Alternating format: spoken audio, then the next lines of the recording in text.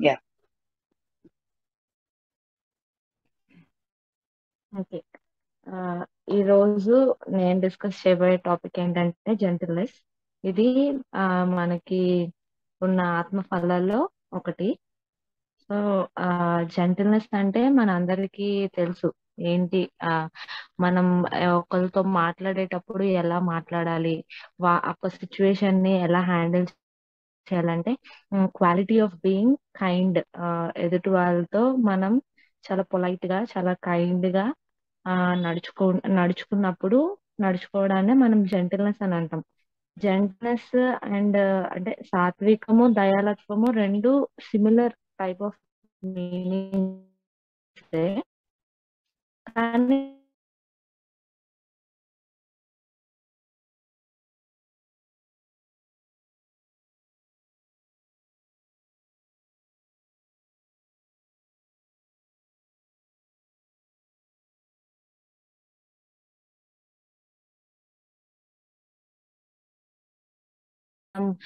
ఎలా రియాక్ట్ మనకి లైఫ్లో మనకి మన బైబిల్లో ఉన్న కొన్ని సిచ్యువేషన్స్ని కొన్ని కొన్ని స్టోరీస్ని రిలేట్ చేసుకొని మన ఈరోజు సెషన్ స్టార్ట్ చేసుకుందాం. సో ఫస్ట్ ఆఫ్ ఆల్ ఈ జెంటిల్నెస్ అనేది మన లైఫ్లో ఉండటం వల్ల మనకి వచ్చే ఫ్రూట్స్ అంటే ఏంటి ఫలితాలు ఏమై ఏమైనా ఉన్నాయి అంటే ఒకటి ఏంటంటే ఆ ఎదుటి వాళ్ళకి ప్రేమను పంచగలం మనకు ప్రేమ కైండ్నెస్ సెల్ఫ్ కంట్రోల్ గుడ్నెస్ ఇవన్నీ ఏంటంటే ఈ జెంటల్నెస్ మనలో ఉండటం వల్ల మనకి వచ్చిన రిజల్ట్స్ అన్నమాట. మనకి మనకు ఉండే బెనిఫిట్స్ అన్నమాట ఇవన్నీ. ఎదుటి వాళ్ళతో రియాక్ట్ అయ్యే విధానాన్ని మనం తెలుసుకోగలం. సెల్ఫ్ కంట్రోల్డ్గా ఎలా ఉండాలి ఒక సిచ్యువేషన్లో ఎలా కంట్రోల్డ్గా ఉండాలి అన్నది మనం తెలుసుకోగలం.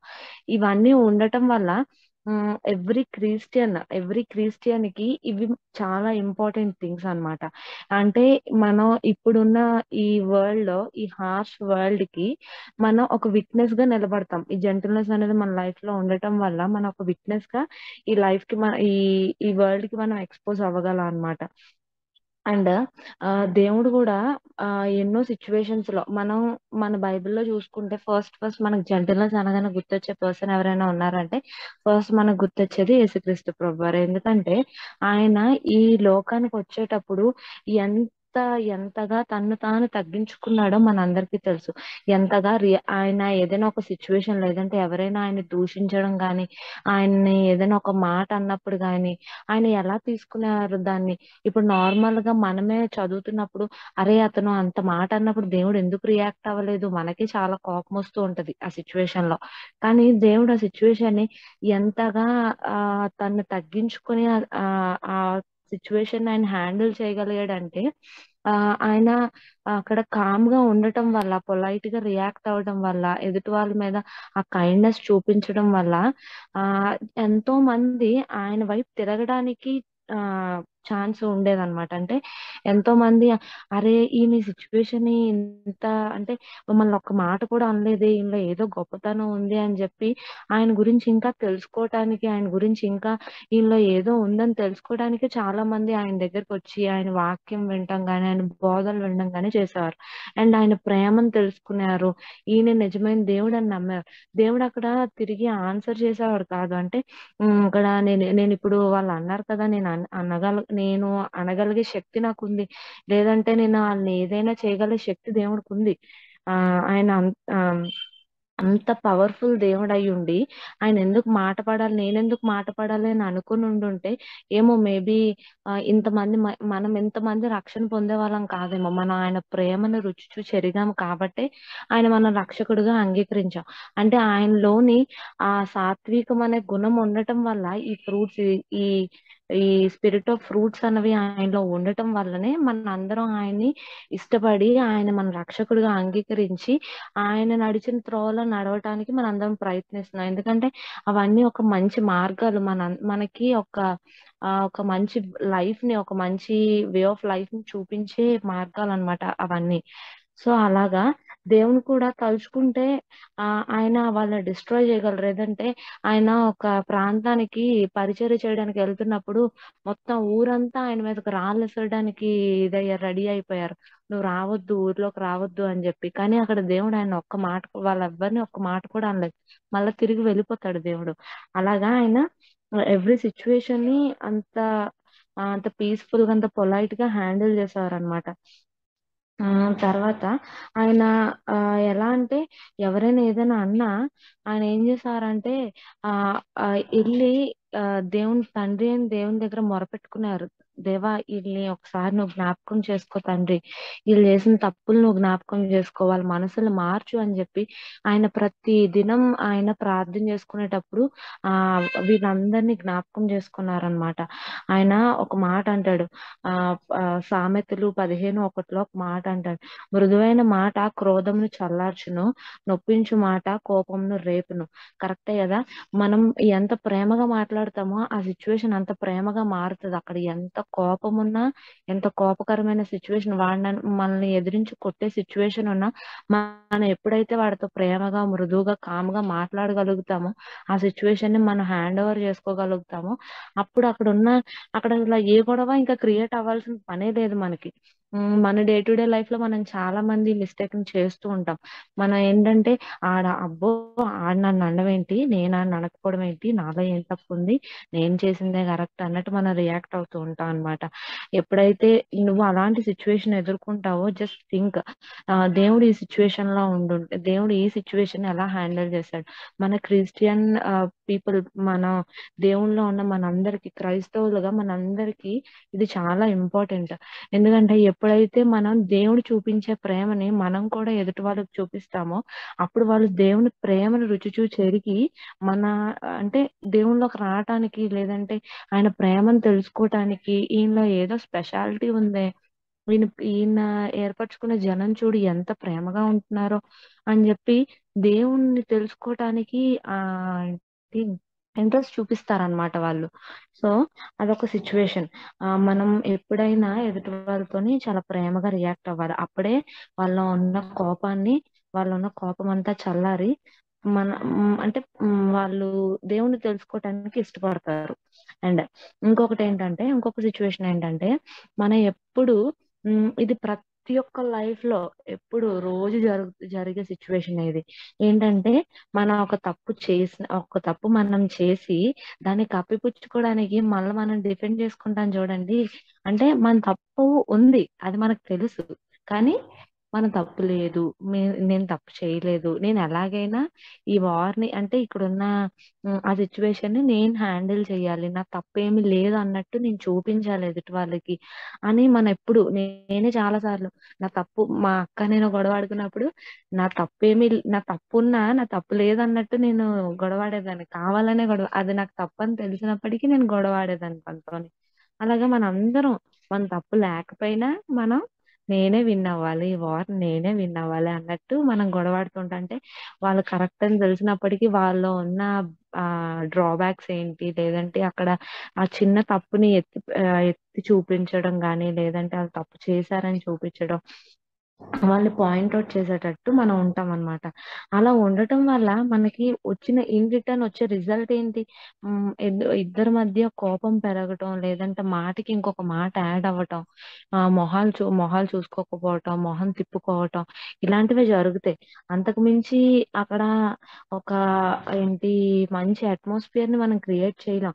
అదే మనం చేస్తున్న తప్పు. ప్రతి ఒక్కరి లైఫ్లో ప్రతి ఒక్కరం ఒక గొడవ వచ్చిందంటే నేనే విన్ అవ్వాలి అన్న మైండ్ సెట్ తోనే ఆ అన్న మైండ్ సెట్ తోనే మనం ఆ గొడవలోకి దిగుతాం గానీ ఇది కూల్ అవ్వాలి కామ్ డౌన్ అవ్వాలి అని ఎప్పుడు మనం ఆశించాం. అంటే దాని గురించి మనం ఎప్పుడు చూడం. అయితే మనం ఈ సిచ్యువేషన్ని మనకి దేవుడు ఇదే ఇదే నేర్పించాడా? అంటే నువ్వు వాళ్ళు అంటున్నారు కదా నువ్వు ఎందుకు అనవు అన్నది మనకి ఎప్పుడు దేవుడు నేర్పించలేదు. ఆయన లైఫ్ ద్వారా మనం నేర్చుకుంది ఏంటంటే ఏదైనా సిచ్యువేషన్ని దేవునికి అప్పచెప్పుకోవాలి. ఆయనకి అప్పచెప్పుకుంటే he'll take care of it మనందరికీ తెలుసు మనందరికీ కామన్గా తెలిసిన ఒక వర్స్ ఏంటి పగ తీర్చుకొనుట మన వశ మన ఇది కాదు. దేవుని దేవునికి అప్పచెప్పుకుంటే ఆయనే పగ తీర్చుకుంటాడు అనే కదా ఉంది. అది అందులో రోమా పన్నెండు పంతొమ్మిదిలో ఉంటది. ప్రియులారా మీకు మీరే పగ తీర్చుకొనక దేవుని ఉగ్రతకు చోటీయుడి పగ తీర్చుట నా పని నేను ప్రతిఫలము నెత్తును.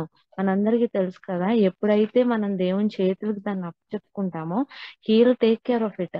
ఎలాగా ఆ సిచ్యువేషన్ అంటే మనం మనం బాధపడేటట్టు ఎప్పుడు మన దేవుడు చేయడు. మన తప్పు లేదు అన్నప్పుడు ఆయన మనకు అండగా నిలబడి ఆయన చూసుకుంటాడు మొత్తం ప్రతి ఒక్క సిచ్యువేషన్. మనం దాన్ని హ్యాండిల్ చేయాల్సిన అవసరమే లేదు.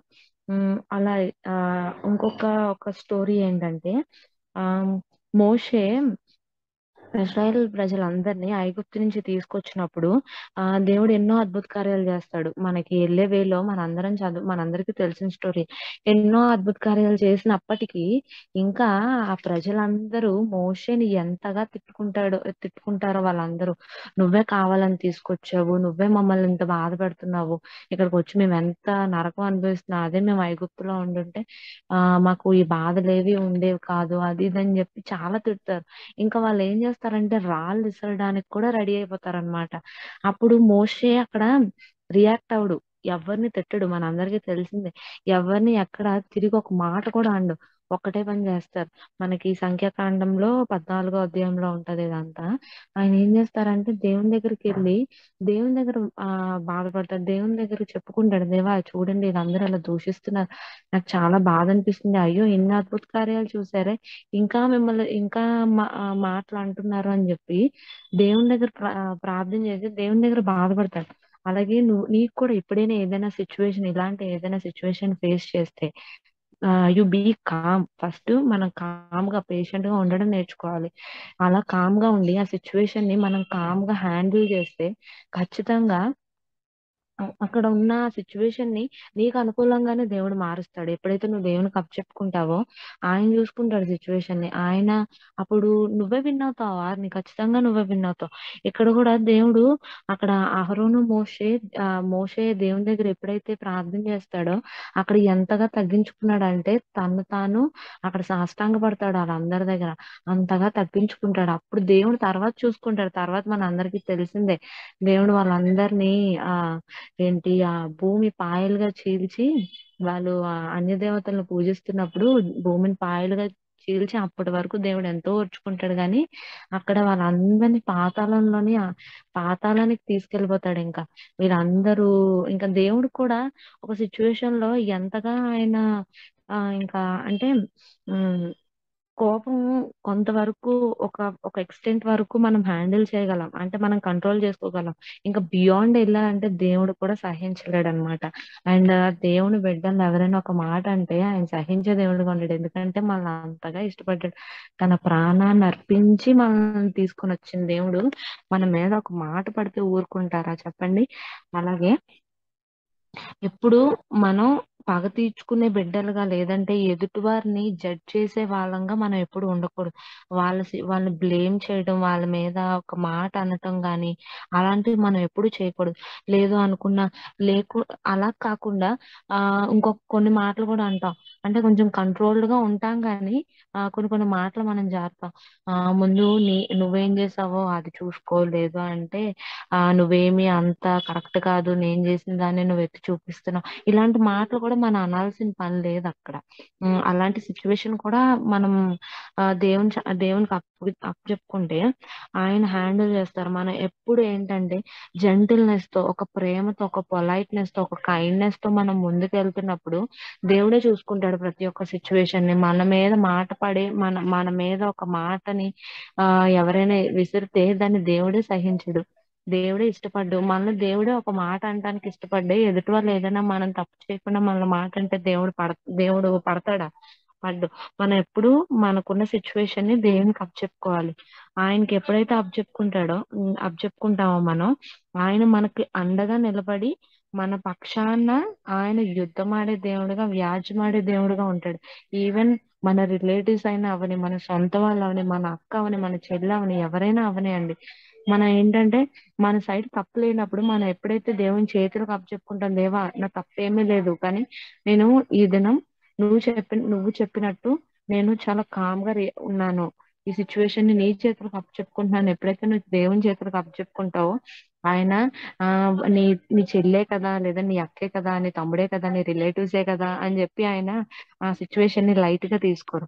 ఆయనే మనకు అండగా నిలబడి ఆయన మన మన పక్షాన్ని డిఫెండ్ చేయడానికి మన పక్షాన వాళ్ళకి వాళ్ళు చేసిన తప్పుని తెలుసుకోవటానికి ఆయన ఇది చేస్తారనమాట మనం ఎప్పుడైతే జెంటల్గా కామ్గా ఉంటామో ఈ ఫ్రూట్ని ఎప్పుడైతే మనం మన లైఫ్లోకి తీసుకుంటామో ఆ దాని యొక్క ఫ్లేవర్ని మనం ఎప్పుడైతే ఆస్వాదిస్తామో మనకి ఆ చాలా వరకు సిచ్యువేషన్స్ మన అనుకూలంగా మనం హ్యాండిల్ చేయగలిగే సిచ్యువేషన్స్లోకి వెళ్ళిపోతాం.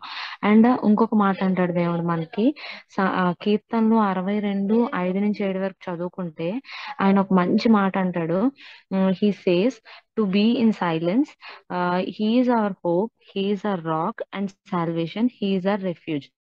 మనం ఎప్పుడైతే కామ్గా సైలెంట్గా ఒక సిచ్యువేషన్ కానీ లేదంటే ఒక మనం చేసి మనం చేయలేని తప్పుకి మనం ఎప్పుడైతే చే- చేయలేని తప్పుకి ఎప్పుడైతే మనం కామ్గా ఉంటామో అప్పుడు దేవుడే మనకి ఆయనే మన రక్షణకర్త మనకి మనల్ని కాపాడే దేవుడు ఆయనే మనకి కొండ కోటగా ఉంటున్నాడు అనమాట మనకు తోడుగా ఉండే దేవుడు మన మీద ఒక మాట పడినవ్వకుండా చేసే దేవుడుగా ఉంటాడు కాబట్టి he'll take care of it ఆ సిచ్యువేషన్ని ఆయన హ్యాండిల్ చేస్తాడు.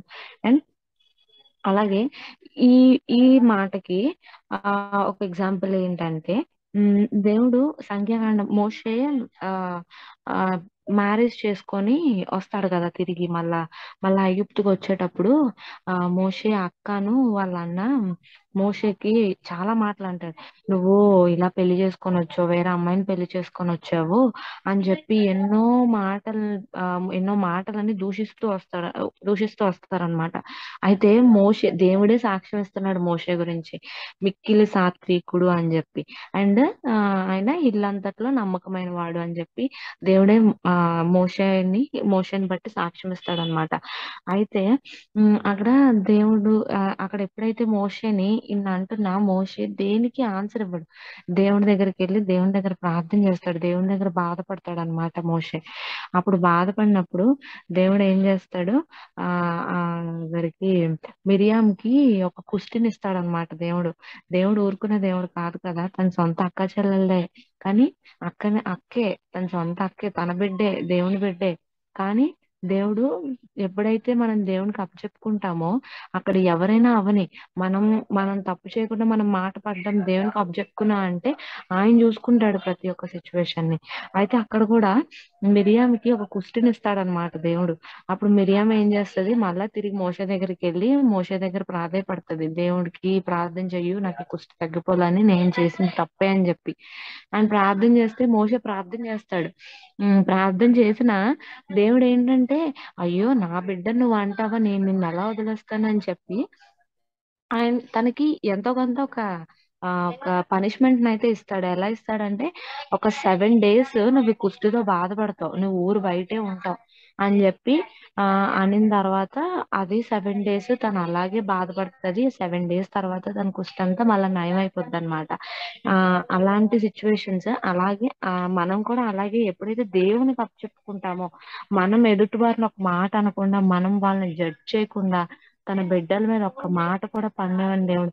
మనం ఎప్పుడు ఒకటే గుర్తుపెట్టుకోవాలి. దేవుని బిడ్డలను ఒక మాట అంటాం కానీ దేవుని పాస్టర్స్ని కానీ ఆ పెద్ద పొజిషన్స్లో ఉన్న వాళ్ళని కానీ వాళ్ళని జడ్జ్ చేసే పొజిషన్కి మనం వెళ్ళకూడదు. ఆ జడ్జ్మెంట్ జడ్జ్మెంట్ తీసుకునే అంటే జడ్జ్ చేసే ఆ పొజిషన్కి మనం ఎప్పుడు వెళ్ళకూడదు. ఎందుకంటే న్యాయం తీర్చే దేవుడు ఒకళ్ళు ఉన్నారు. మనకు మనకి న్యాయం తీర్చగల దేవుడు ఉన్నాడు మనం ఎప్పుడైతే ఆ సిచ్యువే ఆయన్ని దేవునికి అప్పచెప్పుకుంటామో అప్పుడు he'll take care of it అనమాట అలాగే అక్కడ కూడా మోషే కూడా అదే చేశాడు. ఆ తన బిడ్డ ఆయన మోషే వెళ్ళి ఆ దేవుని దగ్గర ప్రార్థన చేస్తే వాళ్ళ అక్కను కూడా దేవుడు తన బిడ్డను కూడా చూడలేదు. తను తప్పు చేసింది. దానికి ప్రతిఫలం తను అనుభవించింది అనమాట అండ్ దేవుడు ఒక గొప్ప ప్రామిస్ ఇస్తున్నాడు ఒక గొప్ప హెచ్చరిక ప్రతి ఒక్కరికి ఇస్తున్నాడు మన అందరికి ఇస్తున్నాడు అనమాట ఏంటది first Chronicles sixteen twenty two లో ఒక మాట అంటాడు. Saying touch not my anointed ones do my prophets no harm నేను ఏర్పరచుకున్న నా జనాంగాన్ని ముట్టడానికి నీకు ఎటువంటి అర్హత లేదు. మన ఒక మాట అనాలన్నా అది దేవుడే అనాలి. మన పనిష్ చేయాలన్నా దేవుడే పనిష్ చేయాలి. ఎదుటి వాళ్ళకి ఆ ఛాన్స్ ఇవ్వడు దేవుడు. మనకి ఇక్కడ చెప్తున్నాడు కదా నేను ఏర్పరచుకున్న జనాంగాన్ని ముట్టొద్దు అని చెప్పి ఎంత అంత ఇదిగా చెప్తున్నాడో మనం అర్థం చేసుకోవాలి ఇక్కడ ఆ సిచ్యువేషన్ని అండ్ మనం ఎప్పుడు ఈ జెంటిల్నెస్తో ఉండటం వల్ల మనం ప్రతి ఒక్క వార్ని మనం విన్ అవ్వగలం అనమాట ప్రతి ఒక్క సిచ్యువేషన్ని మనం ఆ అంటే ఆ విన్ విన్ అయ్యే సిచ్యువేషన్స్ని విన్ అయ్యే పొజిషన్లో మనం ఉండగలం. ఎప్పుడైతే మనం కామ్గా ఉంటామో. అండ్ ఈ జెంటల్నెస్ అనేది మెయిన్గా ఏ సిచ్యువేషన్స్లో మనకి మన లైఫ్లో ఉంటది ఉండాలి అంటే మ్యారేజ్ లైఫ్లో ఆ లేదంటే ఆ చర్చ్ చర్చెస్లో ఇది లేకపోవడం వల్లే చాలా మ్యారేజెస్ మ్యారీడ్ లైఫ్లో చాలా ఆ బాధని అంటే ఆ చాలా ఆ ఎంతో మంది విడిపోవడానికి కారణం అవుతుంది. అంటే అర్థం చేసుకోరు అర్థం చేసుకునే సిచ్యువేషన్ గాని లేదంటే అక్కడ గొడవ లేక పొలైట్గా రియాక్ట్ అవ్వడం గాని ఆ జెంటల్గా రియాక్ట్ అవ్వడం గాని ఇవేమి వాళ్ళు ఆ అంటే అవి వాటిలతోని గాని వాళ్ళు ఆ సిచ్యువేషన్ని హ్యాండిల్ చేయగలిగితే ఎన్నో లైఫ్స్ హ్యాపీగా ఎన్నో మ్యారీడ్ లైఫ్స్ కానీ ఎన్నో చర్చెస్ కానీ చాలా హ్యాపీగా లీడ్ చేయగలం. కానీ ఇక్కడ ఏంటంటే వాళ్ళు వాటిని ఆ ఇంకా ఎక్కువగా అంటే ఇంకా ఎక్కువ గొడవని తీసుకెళ్ళటానికి ఆ నేనెందుకు తగ్గాలి నేనెందుకు తక్కువ అయిపోవాలి అన్నట్టు ఆ ప్రతి ఇది బోత్ అంటే అపోజిషన్ పార్టీస్ ఏవైనా ఇద్దరు తగ్గకుండా ఇది చేయడం వల్ల ఎన్నో చర్చెస్ విడిపోవడానికి ఎన్నో మ్యారీడ్ లైఫ్స్ డివోర్స్ తీసుకోవడానికి ఎన్నో రిలేషన్షిప్స్ బ్రేక్ అవ్వటానికి కారణం అయ్యాయి అనమాట సో మనం ఎవ్రీ సిచ్యువేషన్కి రెస్పాండ్ అవ్వాల్సిన అవసరం లేదు. అంటే కోపంగా రెస్పాండ్ అవ్వాల్సిన అవసరం లేదు. ఎప్పుడైతే ప్రతి ఒక్క సిచ్యువేషన్ని మనం ఎప్పుడైతే జంటిల్గా జంటిల్గా రియాక్ట్ అవుతామో అంటే ఈ ఫ్రూట్ ఆఫ్ జెంటల్నెస్తో రియాక్ట్ అవుతామో రెస్పాండ్ అవుతామో. ఆ సిచ్యువేషన్ మనం చాలా అంటే ఒక వెంటనే అంటే ఆ సిచ్యువేషన్ పక్కకి వెళ్ళిపోద్ది. ఇంకా దాన్ని పెద్దది చేయాల్సిన అవసరం ఉండదన్నమాట. అండ్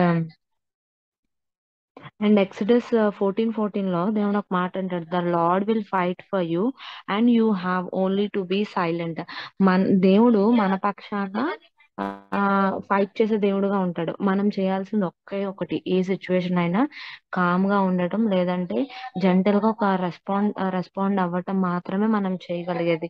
ఇది మనకి కొంచెం కష్టంగానే ఉంటది. బట్ దాని వల్ల వచ్చే బెనిఫిట్స్ చాలా ఎక్కువ ఉంటాయి మన లైఫ్లో. సో నేను చాలా షార్ట్గా ఫాస్ట్ ఫాస్ట్గా చెప్పేస్తాను. ఏంటంటే బెనిఫిట్స్. మనకు ఫస్ట్ వచ్చే బెనిఫిట్ ఏంటంటే మనం కరెక్ట్గా మన లైఫ్లో అన్ని సిచ్యువేషన్స్ని మనం కరెక్ట్గా హ్యాండిల్ చేయగలుగుతాం. అంటే ప్రతి ఒక్క సిచ్యువేషన్ని కరెక్ట్గా తీసుకోగలుగుతాం. మన హార్ట్కి ఈజీగా తీసుకోగలుగుతాం. జెంటల్గా సిచ్యువేషన్ మనం హ్యాండిల్ చేయగలుగుతాం ఫస్ట్ థింగ్ అండ్ గాడ్స్ గైడెన్స్ని మనం మన లైఫ్లోకి అలౌ చేయగలుగుతాం ఎప్పుడైతే మనం కామ్గా ఒక టూ మినిట్స్ సైలెంట్గా ఉండి దేవా ఈ సిచ్యువేషన్ నేను ఎలా హ్యాండిల్ చేయాలని మనం ఎప్పుడైతే ఆ కామ్గా ఉండి ఆ సిచ్యువేషన్ మనం తీసుకుంటామో then at that moment we allow God to guide our life guide the situation అనమాట ఆ సిచ్యువేషన్ ఎలా గైడ్ చేయాలి అన్నది మనం తీసుకుంటాం అనమాట అండ్ మనం దేవుని చెప్పిన మాటల్ని విన వినే పొజిషన్లో ఉంటాం అనమాట చాలా వరకు మనం కోపంగా ఉన్నప్పుడు పక్కనున్నోడి మాటే మనం తినగా వినం. ఎందుకంటే ఆ మనం అంత గొడవలో ఉంటాం అనమాట వాళ్ళతోని. గొడవడే పొజిషన్లోనే ఉంటాం గాని ఎదుటివాడు ఏం చెప్తున్నాడు లేదని మన పక్కవాడు ఏం చెప్తున్నాడని ఎప్పుడు మనం వినం. సో ఈ జెంటిల్నెస్ అనేది ఉండటం వల్ల మనం దేవుని యొక్క మాట విని ఆయన ఏం చెప్తున్నాడు ఆయన ఐడియాలజీస్ ఏంటి ఆయన ఏం ఈ సిచ్యువేషన్లో ఎలా హ్యాండిల్ చేయాలని చెప్తున్నారు అన్నది మనం ఆ తెలుసుకుంటాం అనమాట ఆ ఫాస్ట్గా అంటే ఆయన మాటలు వినే పొజిషన్లో ఉంటాం. అండ్ ఇంకొకటి ఏంటంటే మనం దేవునికి తిరిగి ఆ దేవా ఇక్కడ ఇగో ఈ గొడవ జరిగింది వాడికి ఇలా కాలు ఇరిగిపోవాలి లేదంటే వాడికి ఇలాగ అయిపోవాలి వాడికి ఎగ్జామ్స్లో మార్క్స్ తక్కువ వచ్చేయాలి ఇలాంటి సోది ఏంటి వాటిలో ఏమంటారు ఆ సజెషన్స్ సోది సజెషన్స్ దేవునికి తిరిగి మనం ఇవ్వం. మనం ఏంటంటే దేవుని చెప్పిన దాన్ని ఫాలో అవుతాం అనమాట చాలా వరకు మనం ఏం చేస్తామంటే ఆ ఏదైనా గొడవ జరిగినా ఏదైనా ఇలాంటి సిచ్యువేషన్ ఎదురైనప్పుడు దేవా వాడికి ఏదో ఒకటి అయిపోవాలి. ఆ ఇగో ఇలా కాలు ఇరిగిపోవాలి. నువ్వే చూసుకో అని చెప్పి ప్రేయర్ చేస్తాం. ఖచ్చితంగా అదే ప్రేయర్ చేస్తాం చాలా వరకు చాలా మంది. అలాంటి అలాంటి టైప్ ఆఫ్ సిచ్యువేషన్కి వెళ్ళకుండా ఉంటాం అనమాట మనం. దేవుడు ఏం చెప్తాడు? ఏమి మనం ఏం చెయ్యాలని దేవుడు చెప్తాడని మనకు మనం దేవునికి సరెండర్ అవుతాం అనమాట ఆ సిచ్యువేషన్కి. ఆ తిరిగి ఆయనకి ఆన్సర్ ఆ ఏంటి తిరిగి ఆయనకి సజెషన్స్ ఇచ్చే పొజిషన్లో మనం ఉండం అనమాట అండ్ ఈ ఓంట్ మనం ఎప్పుడైతే దేవునికి ఆ సజెషన్స్ ఇస్తామో దేవుడు నువ్వు అలా చెయ్యి ఇలా చెయ్యు ఆ ఓకేనా అని చెప్పి మనం ఎప్పుడైతే దేవునికి ఆ- విధంగా ప్రార్థన చేస్తామో he won't answer to our prayers అన్నమాట. మన నీడ్స్కి మనకున్న ఆ ప్రాబ్లమ్ని దేవుడు ఆన్సర్ చేయడు అనమాట సో మనం ఎప్పుడు ఏంటంటే ఆయనకి మన సిచ్యువేషన్ అప్ చెప్పుకోవాలి. ఆయనకి సరెండర్ అవ్వాలి. అప్పుడే ఆయన మళ్ళీ ఒక కరెక్ట్ వేలో ఆయన గైడ్ చేయగలుగుతారనమాట అండ్ మనం ఎప్పుడు దేవుని మాట వినటానికి అండ్ దేవుని దేవుని ఐడియాలు ఆయన ఏం చెప్తున్నాడో వినడానికి చాలా ఆశ కలిగి ఉండాలన్నమాట. ఎప్పుడైతే మన ఆశ కలిగి ఆ ఆయన మాటను వినటానికి ఇష్టపడతామో ఆ అప్పుడు మనకి సిచ్యువేషన్ని ఎంత ఎంత నీట్గా హ్యాండిల్ చేయాలో దేవుడు మనకు తెలియజేస్తాడనమాట అండ్ అదొక పాయింట్ అండ్ దేవుడు మనం మనం అలా ఉన్నప్పుడు దేవుడు ఖచ్చితంగా మనం బ్లెస్ చేస్తాడు. మనం ఉండాల్సిన పొజిషన్లో ఉంటాడు మనకి తెలివిని జ్ఞానాన్ని ఆ సిచ్యువేషన్ ఎలా హ్యాండిల్ చేయాలో మనకు తెలియజేస్తాడు అనమాట మనకు దేవుడు ఆ మనకి బైబిల్లో ఒక మాట రాయించాడు ఏంటి? సాత్వికులు ధన్యులు వారు భూలోకమును స్వతంత్రించుకుందరు. ఈ మాట ఎందుకు రాయించాడంటే ఎప్పుడైతే మనం జెంటల్గా కామ్గా మ- ఈ సిచ్యువేషన్ మనం దేవునికి అప్పచెప్పుకుంటామో దేవుని మాటలు వింటామో ఆయన చెప్పిన ఐడియాస్ని లేదంటే ఆయన చెప్పిన సిచ్యువేషన్ ఎలా హ్యాండిల్ చేయాలి ఎప్పుడైతే చెప్తారో దెన్ భూలోకాన్ని స్వతంత్రించుకుందరంటే మొత్తం వరల్డ్ మనం లీడ్ చేయడం అని కాదు కానీ ఏంటంటే ఆ సిచ్యువేషన్ మనం హ్యాండిల్ చేయగలం. అంటే అప్పుడు మనమే కదా లీడింగ్ పొజిషన్లో ఉంటాము. అది హ్యాండిల్ చేయగలిగాము దాన్ని ఎలా ఒక మంచి విధంగా మార్చుకోగలిగాము అంటే విల్ బి రియల్లీ ఆ లీడింగ్ పొజిషన్ అనమాట సో అండ్ ఇంకొక మాట ఆ కీర్తనలు ముప్పై ఏడు పదకొండులో ఒక మాట అంటాడు. దీనులు భూమిని స్వతంత్రించుకొందరు బహుక్షేమం కలిగి సుఖించెదరు. ఎప్పుడైతే మనం ప్రతిరోజు గొడవ పడుతూ ఉన్నామంటే ఖచ్చితంగా మనకు నిద్ర పట్టదు. ఆ రాత్రంతా అదే ఆలోచిస్తాం. లేదంటే మన మనసులో ఒక కలవరం ఒక బాధ లేదంటే ఒక కోపం కలిగిన ఇది మనం హ్యాండిల్ చేస్తూ ఉంటాం. దాని వల్ల ఏంటంటే మనకు నిద్ర పట్టదు. ఎప్పుడైతే మనం దీనంగా మనల్ని మనం తగ్గించుకొని ఉంటామో ఆ అప్పుడు మన లైఫ్లో ఒక ప్రశాంతమైన లైఫ్ని మనం లీడ్ చేయగలుగుతాం. ఎప్పుడైతే మన కోపాన్ని మన బాధని మనకున్న కక్షని దేవుని చేతిలో చెప్పుకుంటామో అది కూడా ఏంటంటే ఒక నెగిటివ్ వే ఆఫ్ కక్ష కాదు. కానీ మన తప్పు లేకపోయినా మనం దాన్ని దాని రిజల్ట్ మనం అనుభవిస్తున్నామంటే దాన్ని ఎప్పుడైతే చేతులు దేవుని చేతిలో చెప్పుకుంటామో అప్పుడు మనం క్షేమంగా మనం నిద్రపోయినప్పటికీ దేవుడు దానికి తగ్గ ఆ ఆ, ఏంటి పగ తెచ్చుకునే దేవుడుగా ఉంటాడని మనకు తెలియజేస్తాడు అనమాట అండ్ ఈ జెంటిల్నెస్ని డెవలప్ చేసుకోవడం మనకు కొంచెం కష్టంగా ఉంటది. ఎందుకంటే మనం ఎవ్రీడే ఇవే చేస్తాం. కోపడటం ఎదుటి వాళ్ళ మీద అరిచేయటం ఆలోచించకుండా మాట్లాడేయటం ఇలాంటివన్నీ చేస్తూ ఉంటాం. దీన్ని డెవలప్ చేసుకోవడం చాలా ఈజీ ఏంటంటే దీనికి పెద్దగా కష్టపడాల్సిన అవసరం కూడా ఏం లేదు. ఆ మనకి ఆత్మ ఫలాలు అన్నవి ఆత్మ ఆత్మతో కలిగిన ఆత్మ మనకి ప్రతి ఒక్కరికి ఆత్మ ఉంది. బ్రతుకు ప్రతి ఒక్కరికి ఆత్మ అన్నది ఆ చనిపోయే నెవర్ ఎండింగ్ అన్నమాట దానికి. సో ఈ ఆత్మతో కలి అందుకే దేవుడు ఆత్మ ఫలాలు అని అన్నాడు. ఆత్మ ఫలాలు అంటే ఆత్మలో ఆల్రెడీ మనకి ఫలాలన్నీ ఉన్నాయి. మనకు దేవుడు ఇచ్చిన అన్ని ఫలాలు ఉన్నాయి. కాకపోతే మనం ఏంటంటే వాటిని దులిపి బయటికి తీయాలన్నమాట. మనం ఏం చేస్తామంటే ఈ ఈ వాటన్నిటిని లోపల ఉంచేసుకొని కోపాన్ని ద్వేషాన్ని ఇలాంటి ఆ నెగిటివ్ ఫలాలన్నిటిని మనం పెంచుకుంటున్నాం. ఎప్పుడైతే మనలో ఉన్న ఆత్మలో ఉన్న ఫలాల్ని మనం బయట తీస్తుంటది అనమాట అండ్ మనం ఈ ఈ- ఈ ఆత్మ ఫలాలు ఆ, వస్తాయి మనకి. ఆ ఇప్పుడు మనం అంటే పుట్టుకతోనే దేవుణ్ణి దేవుళ్ళ ఉన్నాం. మనకి ఇది ఎలాగా మనం అలవర్చుకోవాలంటే దే దేవుడు యేసుక్రీస్తు ప్రభు వారిని మనం ఎప్పుడైతే సొంత రక్షకునిగా అంగీకరిస్తామో లేదంటే ఆయనే నా దేవుడు అని నేను ఎప్పుడైతే నా హృదయంలోకి తీసుకుంటానో అప్పుడు యేసుక్రీస్తు ప్రభు వారిలో ఇవన్నీ ఉన్నాయి. ఎప్పుడైతే ఆయన మన మన హృదయంలో ఆయన మన మన హృదయంలో నివసిస్తారో ఎప్పుడైతే ఆయన మన హృదయం మనం అంగీకరిస్తామో ఆయన మన రక్షకునిగా అంగీ అంగీకరిస్తామో అప్పుడు మనం హ్మ్. మనకి ఆత్మ ఫలాలన్నవి మన హృదయంలోకొస్తాయి.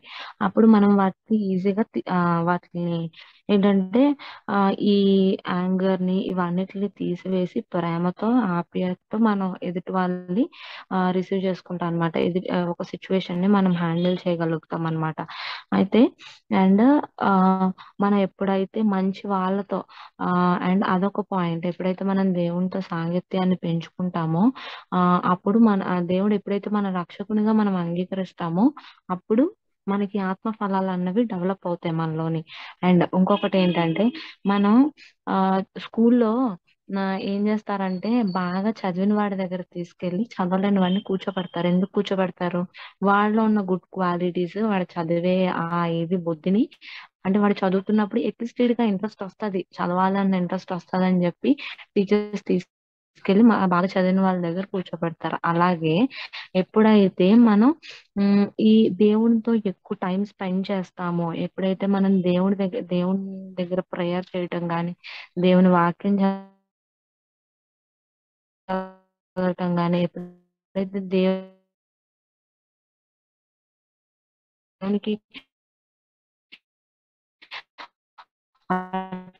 మోస్ట్ టైం ఆయనకి ఇస్తాము ఆయన దేవునికి అన్ని ఫలాలు ఉన్నాయి. ఆయనే ఆయన జీవ ఫలాలు ఆయన ప్రతి చదవాలని ఇంట్రెస్ట్ ఆడలాగా అరే నేను అవ్వాలి అన్న ఇంట్రెస్ట్ ఎప్పుడైతే మనకు పుడతాదో అలాగే దేవునితో మనం ఎప్పుడైతే ఎక్కువ టైం స్పెండ్ చేస్తామో, అప్పుడు మనకి ఈ ఫలాలు అన్నవి ఈజీగా డెవలప్ అవుతాయన్నమాట. అయితే నేను కూడా ఇలాగే ఉండాలి. యేసుక్రీస్తు ప్రభు ఎలాగైతే సిచ్యువేషన్ హ్యాండిల్ చేయగలుగుతున్నారో, నాకు ఇలాంటి సిచ్యువేషన్ వచ్చినప్పుడు నేను ఎలాగే హ్యాండిల్ చేయాలి అన్న ఆలోచన, అన్న ఇది మనకి డెవలప్ అవుతుంది అనమాట అండ్ ఇలాంటి సిచ్యువేషన్స్లో ఇలాగా మనం కొంతవరకు దీన్ని తీసుకొని వస్తాం కానీ ఒక సిచ్యువేషన్ దగ్గర ఏం చేస్తారంటే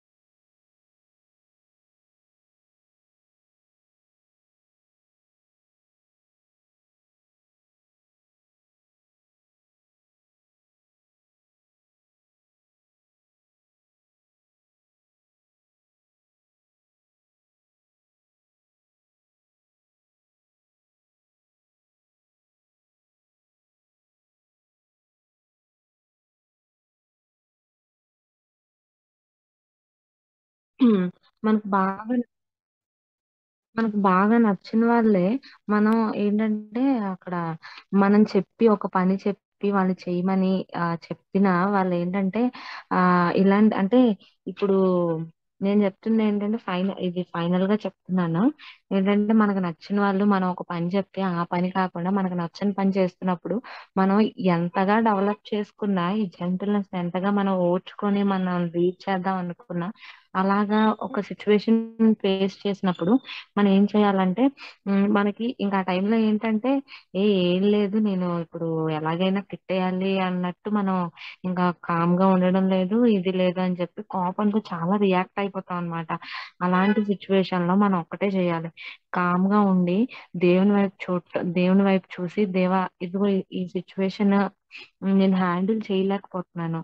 ఆ, నీ చేతులకు అప్పచెప్పుకుంటున్నాను అని చెప్పి అక్కడ సిచ్యువేషన్లో ఒక టూ మినిట్స్ కళ్ళు మూసుకొని దేవుని దేవుని వైపు చూసి ఆ సిచ్యువేషన్ దేవుని దేవునికి అప్పచెప్పుకుంటే ఆ ఈ- ఆ అప్పుడు ఆయన ఏం చెయ్యాలనేది మనకు గైడ్ చేస్తాడనమాట ఆ సిచ్యువేషన్ని. ఎందుకంటే మనకు బాగా ఇష్టమైన వాళ్ళే మనకు నచ్చని పని చేస్తున్నప్పుడు మన కోపం ఆగదు అసలు. చాలా ఎంత కంట్రోల్ చేసుకున్నా ఖచ్చితంగా మనం తిరిగి రియాక్ట్ అవుతాం ఆ సిచ్యువేషన్కి. అలాగా ఎప్పుడైతే అలాంటి సిచ్యువేషన్ నీకు ఎదు ఎదురైంది అనుకో ఆ సిచ్యువేషన్లో ఆ కామ్గా ఉండి ఉమ్, దేవుని దేవుని దేవునికి ప్రేయర్ చేసే దేవా నేను ఈ సిచ్యువేషన్ హ్యాండిల్ చేయలేకపోతున్నాను. ఏం చేయాలి? అని చెప్పి ఎప్పుడైతే దేవుని చేతితో చెప్పుకుంటావో గాడ్ విల్ గైడర్స్ అన్నమాట. మనకి ఇంగ్లీష్లో ఒక సేయింగ్ ఉంటది. ఏంటంటే speech speech is silver but silence is golden అని.